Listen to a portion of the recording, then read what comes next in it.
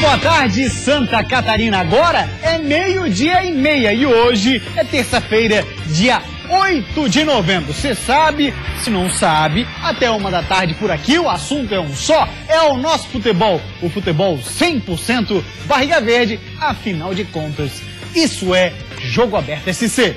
E a gente começa o programa de hoje falando, claro, sobre a 35ª rodada da Série B do Campeonato Brasileiro. Serão 10 jogos, todos eles hoje. Ou seja, 10 jogos representam rodada cheia. Olha só, jogos dos catarinenses, dois no mesmo horário. O Havaí vai visitar o Oeste lá na Arena Barueri e o Criciúma recebe o Ceará no Majestoso. Um pouquinho mais tarde, teremos um jogo que com certeza receberá um grande público na Arena Joinville. Caso o Havaí vença o Oeste, Joinville e Bragantino, o jogo começa nove e meia da noite. Para esse jogo contra o Oeste, o Havaí tem um desfalque e tanto. A vitória contra o Paraná foi excelente, mas ninguém teve muito tempo para comemorar. Hoje o Havaí entra em campo de novo, dessa vez fora de casa contra o Oeste e sem Marquinhos Santos.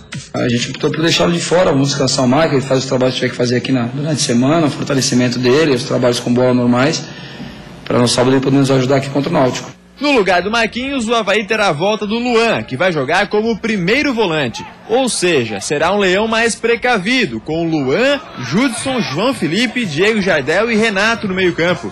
É mais fácil você depois tiver uma correção de, de rota, você adiantar um pouquinho teu time, do que você começar com o time um pouco mais adiantado e aí você toma um gol, você vai fazer o quê? Você vai adiantar duas vezes o time, ficar, terminar com um volante e cinco atacantes, você nunca ter treinado isso. Então a gente procura a gente fica com uma margem ali para adiantar a equipe durante o jogo. Apesar de pregar a filosofia do jogo a jogo, o técnico Claudinei Oliveira sabe que se vencer os dois próximos jogos, tem tudo para garantir a vaga na Série A. Mas, por outro lado, também sabe que duas derrotas podem colocar tudo a perder. Tem essa consciência que a gente não, não se acontecesse qualquer coisa negativa, a gente deixa de ser, de ser genial para ser uma besta, para ser burro, é isso. É assim que funciona o futebol extremamente consciente, né? Essa é a realidade do futebol brasileiro. Infelizmente. Embora eu não concorde, viu? É? Não gosto, não. Deixa ser genial.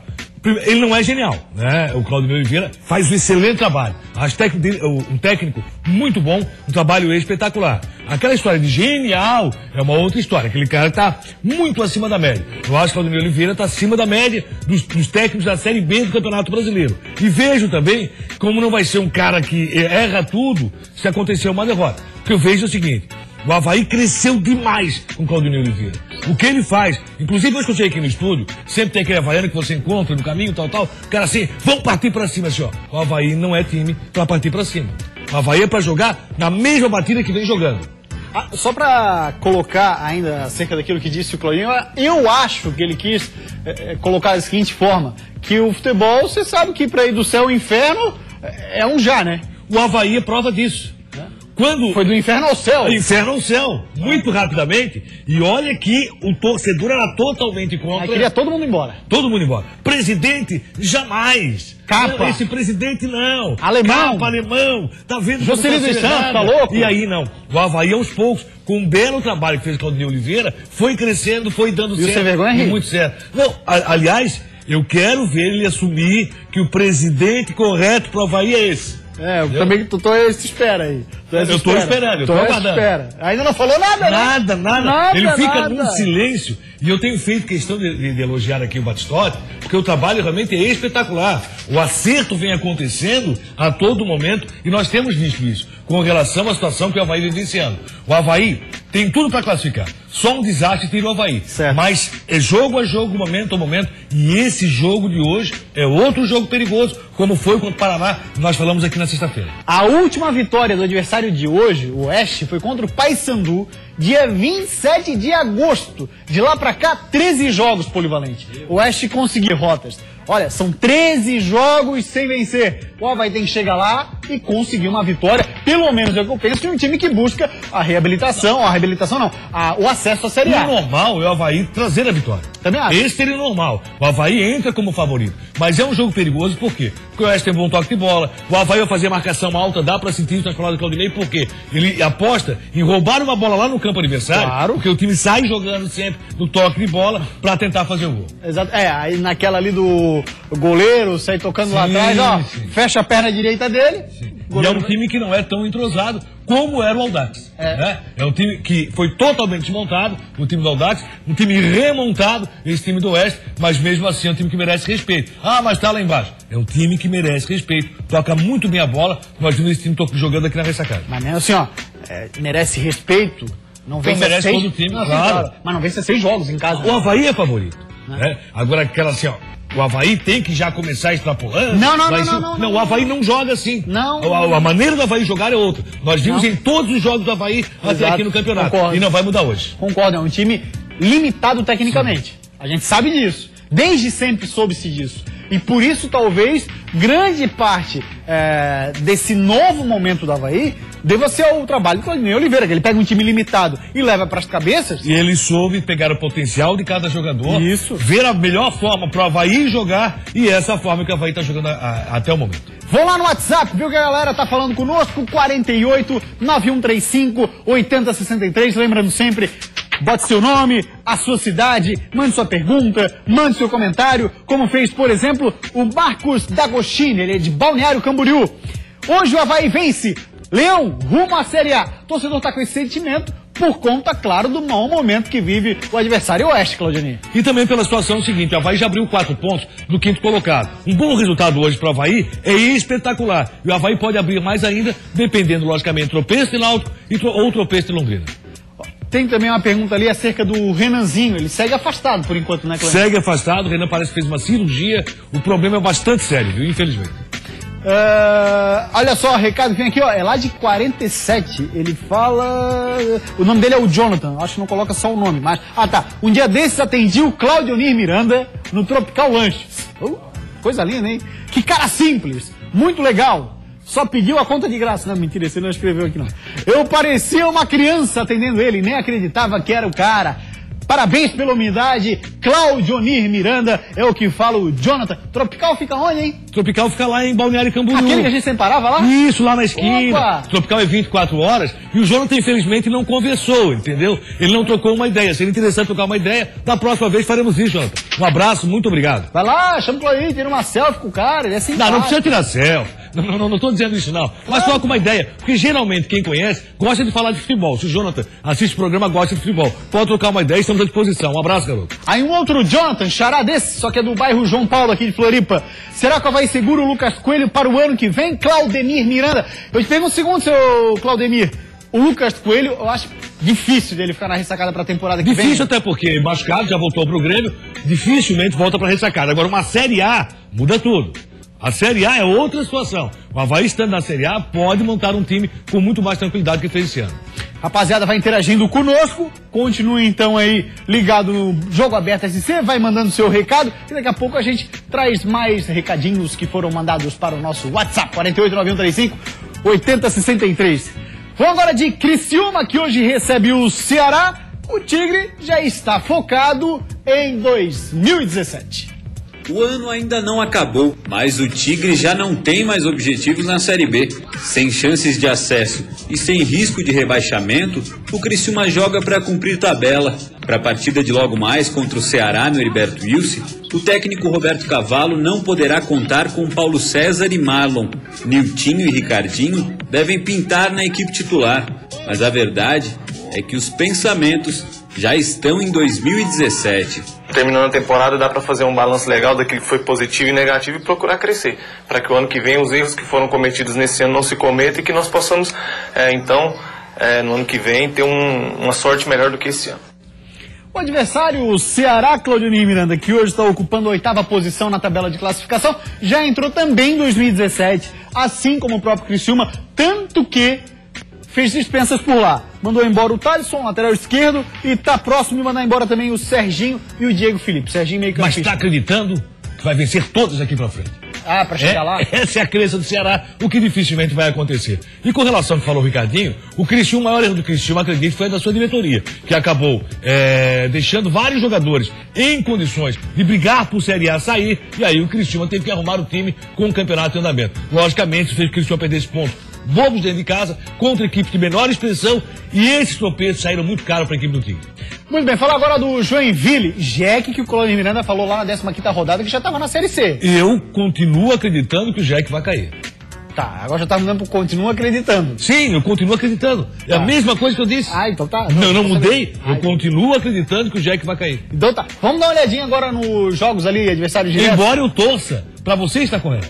Tu torce pra, pra eu, tá certo? Claro Tá que o errado. Jack não vai cair, claro. Ah, é é? lógico. Ah, é sério? Né? Essa é a minha opinião. Pro futebol catarinense, qual é o mais Eu interessante? nunca entendi essa. O cara que torce pra ele tá Vem errado. tomara mas eu pro errado. futebol catarinense, qual é o mais interessante? É, pro futebol catarinense, é claro, o Joinville. O né? Joinville permanecer. Até porque assim senão- como eu acho, Figueirense pra mim caiu. Agora eu torço pra que isso não aconteça. Evidente, evidente. Não, eu sei que sim. Vamos dar uma olhadinha agora, Cleber, nos jogos. Joinville, Bragantino e Oeste, que é a rapaziada que briga por essa última vaga que ainda resta ali, né? Pra alguém se safar do rebaixamento. Vamos dar uma olhadinha como é que tá? Olha só, vamos lá. A gente começa pelo Joinville. Joga hoje em casa com o Bragantino. Confronto direto. Aí depois tem o Goiás fora e o Oeste fora. Outro confronto direto. Isso aí é a final, né, pro Joinville do ano. Joinville, sim. Se chegar lá, evidentemente, Em condições. Assim como o Oeste, né? Exatamente. Olha lá, o Vila Nova fecha com o Joinville em casa, né? Na Arena Joinville. Provavelmente não. Julgamento Ah. é essa semana. Verdade, bem lembrado. Em casa, como mandante, então, pelo menos. Vai jogar comandante, perfeito. Aí o Bragantino joga hoje com o Joinville, aqui em Joinville. Depois tem o Vasco. Esse aí tá, já era. O Bragantino, Já esse tá era. morto. Já era. Porque aqui, ó, ele pega o Joinville fora, Vasco em casa, Bahia fora e Londrina em casa. É, Já era. Bragantino, acho que, ó, pode fazer o caixãozinho aí. Aí depois nós temos o Oeste. Tem o Havaí hoje em casa. O Brasil de Pelotas fora, Bento Freitas. Depois tem o Joinville, na Arena Joinville. Ou melhor, Não, Joinville em casa. aí gente não sabe se é na Arena Barueri. Vai ser em Barueri, agora É. mantém tudo Barueri. E depois o Náutico lá. Já pensou o Náutico brigando por um acesso? Eu tô te falando, polivalente. Se você verificar a tabela, Ah. a mais fácil é a do Joinville. Certo. De todos os três, a mais fácil é do Joinville. O Joinville teria mais condições. O Joinville tem jogado pra isso? Não. Eu acho que esse é o grande problema. Os mesmo vencendo Sampaio Correr, o Joinville não fez o grande jogo. O Joinville não foi aquele time espetacular. Vamos ver, o termômetro vai ser muito hoje. Dependendo do resultado do Oeste e Havaí, provavelmente o Havaí vence, o que tem que acontecer na arena? O Joinville tem que vencer. É, e, e eu acho que assim, já tínhamos comentado ontem sobre isso. Depende muito o público na arena hoje. Do resultado do Oeste e Havaí. Exatamente, o Havaí ganhando o Oeste, a arena vira o Se caldeirão. bem que nas redes sociais, o torcedor joinvilense não tá admitindo, tá torcendo pro Havaí ganhar. Não, não, não. Impressionante, cara. Ele só tá dizendo o E seguinte- Eu li os comentários hoje, é. é, não, não rede social, mas os comentários. O torcedor do Joinville não admite que torce pro Havaí ganhar Não, hoje. o que eles dizem é o seguinte: a gente vai torcer pro Oeste perder e não para o Havaí ganhar. É, mas é uma sequência lógica, né? Se o tem perde, o ganha, né? É, né? Mas é interessante a gente E acompanhar segundo essa- eles, assim, ó, independente do que acontecer com o Havaí e, e o Oeste, eles matam o Oeste no jogo, no, no- no jogo direto. Sim. É o entendimento do torcedor do Joinville. Só pra não dizer, entendeu? Não, não interessa o que vai acontecer hoje com o Havaí e o Oeste. Interessa vamos botar o Oeste no jogo direto, no confronto direto. Aí, o que acontece é assim, ó. O Joinville ganhando hoje do Bragantino. E mesmo que o Oeste ganhe do Havaí, vamos supor. Sim. Se vai seguir ainda para a próxima rodada também a questão de o Joinville só depender dele. Até porque tem um confronto direto ainda com o O Oeste. problema é que tem dois jogos fora na sequência. O Exatamente. Goiás, o no. Serra Dourada e o Oeste fora. Exatamente. A situação do Joinville. O Joinville tem que vencer hoje. É. Independente do que acontecer com o Oeste e Havaí, o Joinville tem que vencer. Pra continuar sonhando. Agora, uma vitória do Oeste hoje, combinado com qualquer resultado do Joinville, que não venha a ser a vitória, meu amigo, aí eu passo a ter razão. É, eu te digo o seguinte: hoje o Joinville é fato. Né? Eu que te digo, é o que mostra ali. Sim. É, o Joinville só depende dele. O Joinville tem o caminho mais difícil, é mais fácil para permanecer na Série B do brasileiro entre os três. Rodada para amanhã a gente debater aqui vai ser interessante, hein? Tanto ah, essa situação do descenso, como a vai buscando acesso no jogo com o Oeste lá. Enfim, amanhã então não perca a cobertura do jogo aberto SC sobre a Série B do Brasileirão. Rápida parada por aqui, depois do intervalo, nosso assunto. Figueirense e Chapecoense. Figueira que, aliás, nas redes sociais Já começou a pipocar nome aí de dirigente que estaria fora do clube e tudo mais. Sai daí não que a gente já volta. Ficou bem mais difícil. São quatro jogos. A matemática nos mostra que ainda temos chance. Voltamos com o jogo aberto SC, meio-dia e 48. Vamos abrir aspas para o técnico Caio Júnior, que falou sobre o Kempis. Olha só o que, que ele disse. O gol do Kempis espelha bem nosso ambiente. Foi titular em muitos jogos e ficou fora nos últimos três. Mas não mudou a cara, a atitude. Entrou e fez o gol. Comemorou como uma criança. Esse espírito que eu quero. Não temos titulares e reservas. Temos uma equipe que busca conquistas grandes. Fecha aspas para o Caio Júnior, o nosso Harry Potter do futebol brasileiro. Claudionir Miranda, a situação do Kempis. Não jogou três partidas. Você imagina o cara ficar lá no banco mas também tem que ter a consciência de que tá vivendo um momento e tanto a Chapecoense, Bruno Rangel dando conta do recado e por aí afora, né? Mas o, com o Bruno Rangel não foi diferente. É? Bruno Rangel teve a mesma atitude que o Kempis está tendo. Ficou quietinho? Ficou quietinho, ficou na dele, entrava, fazia gol, ou então passou um pequeno jejum de gols, mas é um belíssimo jogador. E digo mais, o Bruno Rangel amargou mais do que o Kempis. Mais que o Kempis. E aliás, jogando até mais do que o Kempis. Exato. Né? Então, Porque aí voltava para o banco. Isso, e voltava para o banco, mesmo praticando um futebol de mais qualidade do que o praticado pelo Kempis. Então o que eu vejo?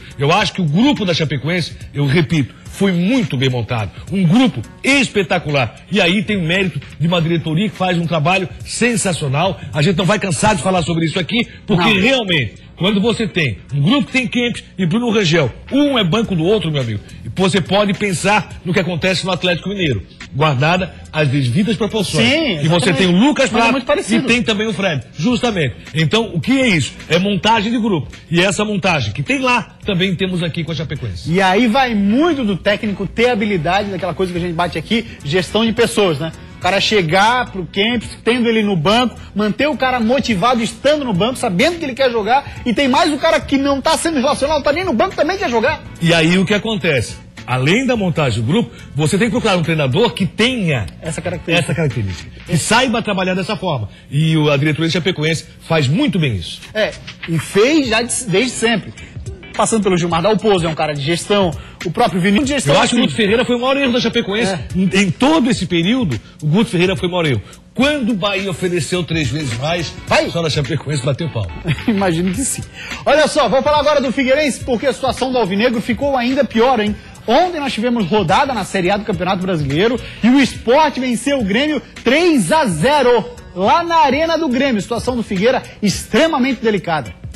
Ficou bem mais difícil, principalmente depois da vitória do esporte em cima do Grêmio e da derrota do Figueira contra a Chape. Mesmo assim, o comandante alvinegro Marquinhos Santos ainda acredita que dá para escapar do rebaixamento. São quatro jogos, a matemática nos mostra que ainda temos chance.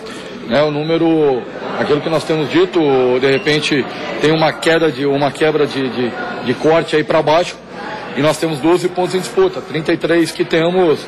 É, se alcançarmos as quatro vitórias, sabemos, não podemos iludir o torcedor, sabemos que é difícil, mas enquanto a matemática nos der a esperança, nós estamos lutando.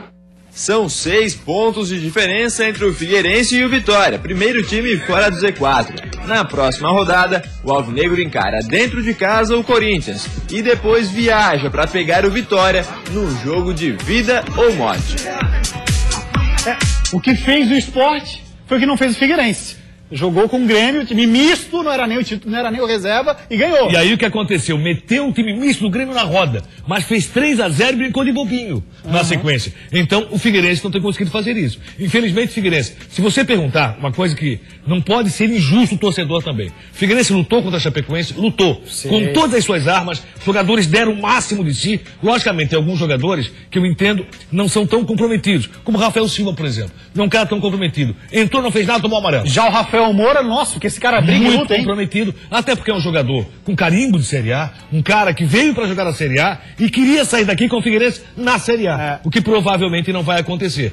Agora, essa história assim, olha, faltam quatro jogos, faltam quatro jogos. O Figueirense tem lutado muito, mas a qualidade técnica e a montagem do grupo do Figueirense foi a pior possível. Olha só, surgiu informação nas redes sociais e a gente buscou a informação oficial do clube. Pois bem, o que, que surgiu nas redes sociais? Que Kleber Giglio, superintendente de esporte figueirense, junto com os auxiliares técnicos Tuca Guimarães e Hudson Coutinho, estariam desligados do Furacão. Entramos em contato com a assessoria de imprensa do Figueirense e o Ronaldo Nascimento, que sempre atende a gente muito bem, disse que por enquanto não há absolutamente nada. Gustavo, não há nada, absolutamente nada. Tem coletiva hoje à tarde, Ronaldo? Eu perguntei. Sim, tem. A coletiva é com quem? Com o jogador. Então, o que indica, pelo menos o Ronaldo nesse momento, Tuca, Kleber Giglio e o São Coutinho seguem no Figueira. Recebi uma informação ontem à tarde que o Kleber Giglio não iria permanecer até o final do Campeonato Brasileiro. Antes da última Seria- rodada, Isso, antes da última rodada, seria desligado do Figueirense. Não com relação aos auxiliares. Essa informação eu não recebi. Ontem à noite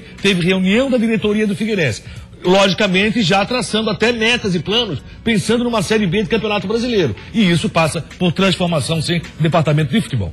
E é claro que a reportagem do Jogo Aberto SC estará ligada e vai trazer todos os detalhes no Band Cidade logo mais. E também, daqui a pouco, depois do intervalo, mais informações por aqui. Nós vamos mostrar um manezinho que está fazendo história no basquetebol mundial. Olhando pra esse cara, você poderia achar que ele é um jogador de basquete, não é mesmo? um dos jogos mais difíceis da minha carreira. O jogo foi muito tenso. Isso é jogo aberto SC. Voltamos com o Jogo Aberto SC para falar agora de um manezinho que está escrevendo uma bela história no basquetebol mundial. Com vocês, a história de Guilherme Locatelli. Olhando pra esse cara, você poderia achar que ele é um jogador de basquete, não é mesmo? Ele bem que tentou, mas quando viu que não teria qualidade pra chegar lá, ele deu um outro jeito de ficar perto do basquete. Naquele primeiro momento foi uma maneira de eu me manter em contato com, com o esporte, assim, sabe? E, e fazer realmente algo que eu já gostava um pouco naquela época. Com o tempo, esse gosto aumentou, certo? Até pelos resultados que foram, foram aparecendo. Mas não foi bem uma escolha, foi uma, uma migração normal, porque atleta com certeza eu não seria. E foi assim, quase que sem querer, que o Locatelli virou árbitro profissional de basquete. E daí pra frente foi só alegria. Liga Nacional, seis campeonatos mundiais e por último, mas o mais importante, os Jogos Olímpicos Rio 2016. No Rio, ele apitou sete partidas, três delas dos Estados Unidos, inclusive a semifinal contra a Espanha. Esse jogo realmente foi um dos jogos mais difíceis da minha carreira. O jogo foi muito tenso, principalmente na sua primeira metade, assim. As equipes, era, diríamos, a última oportunidade que aquela geração da Espanha, que foi campeã do Mundial em 2006, com Paul Gasol, Navarro, Rudy Fernandes, esses grandes jogadores espanhóis, seria, em teoria, né, disse a última grande chance que eles teriam de tentar bater os Estados Unidos. Mas nem só de basquete vive o Locatelli. Acredite, ele é formado em engenharia e trabalha 15 dias por mês em plataformas de petróleo. Mas ele não larga o basquete nem lá no meio do oceano.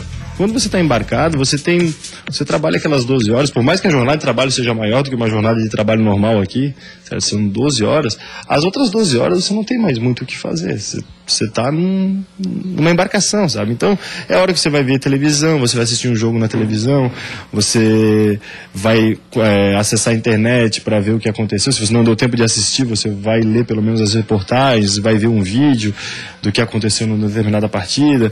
Aí você deve estar pensando, como é que ele faz para manter a forma se ele fica embarcado metade do mês? Para ele é até mais fácil. A gente tem uma cozinha industrial lá, por exemplo, é 24 horas, refeições de 3 em 3 horas. E com uma variedade muito boa, não é?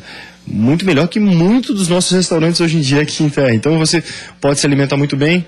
Você tem academia, você tem esteiras, você tem bicicletas, tem é, peso, equipamentos, você tem tudo que você precisa para manter a forma. E por uma obra do destino, foi embarcado que ele recebeu a convocação para a Olimpíada. Eu fiquei aquela manhã assim, porque eu não tinha nem muito o que fazer, sabe? Eu, tinha, eu tinha que continuar trabalhando, simplesmente isso. Eu não tinha nem para quem ligar, porque até para telefonar não é tão simples assim, você estando embarcado, né? E eu tinha muita coisa para fazer, então eu tive que meio que controlar as emoções ali de continuar trabalhando e, e sabendo que eu estava na Olimpíada, sabe? Obviamente, o Locatelli é um dos árbitros do NBB, a Liga Nacional de Basquete, que começou no último fim de semana e tem transmissão da Band. Para ele, esse vai ser mais um ingrediente para difundir ainda mais o esporte no país. É claro, você tendo uma a Band toda semana transmitindo alguma coisa, existem muitas pessoas que não assistem basquete porque não tem o basquete na sua televisão. Agora elas vão ter o basquete na televisão. E daí elas vão gerar opinião. E isso tudo gera um ambiente com muito mais pressão para a arbitragem. Mas na quadra em si não muda muita coisa, sabe? Não, pra gente, a gente continua da, da mesma linha, mas com certeza a repercussão aumenta muito. Bacana demais em si, então deve se ligar aqui na tela da Band Polivalente. Já teve jogo esse fim de semana, uma reedição da final da temporada passada do NBB. Estamos no NBB 9, tivemos Flamengo e Bauru. E a partir de agora, direto na tela da Band TV aberta com NBB Polivalente. Parabéns, Locatelli, que humildade, rapaz. É isso, o cara viaja um bocado, né? Semifinal de Olimpíada, Espanha e Estados Unidos, Locatelli. É isso aí. Grande abraço, rapaziada. A gente fica por aqui e voltamos amanhã, meio dia e meia. Tchau. Ei, técnica no Kevin Durant, hein?